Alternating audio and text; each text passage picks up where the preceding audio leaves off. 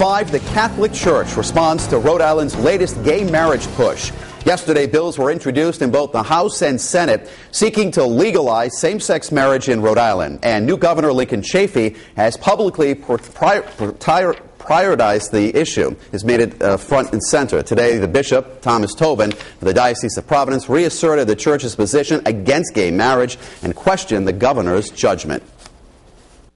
It's baffling to me why he would uh, use this as one of his very first priorities, an issue that really does inflame emotions and, and passions and really does divide the people of the state about some very important, heartfelt uh, items of, of, conscience. Why would the governor pursue this item so quickly and, and so aggressively? That's um, very puzzling to me and, and very troubling.